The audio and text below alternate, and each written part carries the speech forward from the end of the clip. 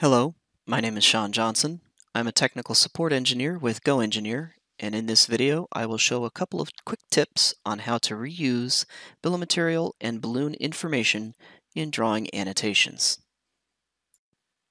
Here we have a basic assembly consisting of some hardware and a pair of plates. I want to call out in the notes section of this drawing the material and finish for the plates. To add the balloon to the note, I simply double-click to edit the note, then click on the desired balloon and it is linked into the note. These are going to be 6061 T6 aluminum and they will be hard black anodized per the appropriate mil spec.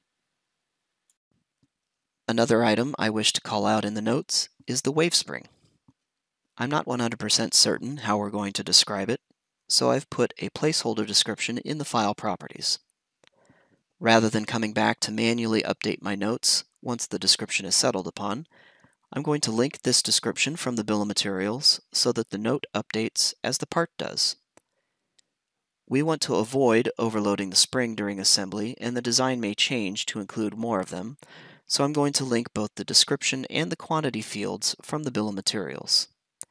To do this, once again, I edit the notes,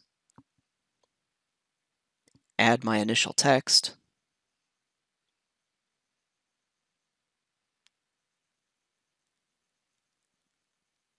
Then click on the Link Table Cell button in the Note Properties dialog. And click on the desired cell. The text is added, and I can add my quantity callout as well.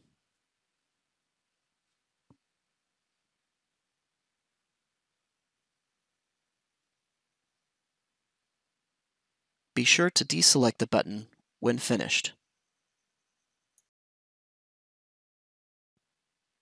The balloon information is linked, so as I reorder the bill of materials to move the plates into the first position, the note updates.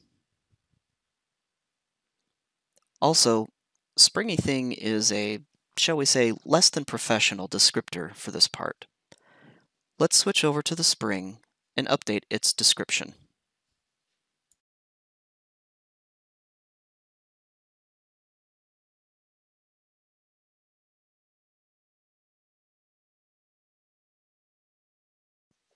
In addition, I've decided we'll likely need three of them for this design. Switching back to the drawing, the bill of materials is updated, as has the linked cell data within my notes.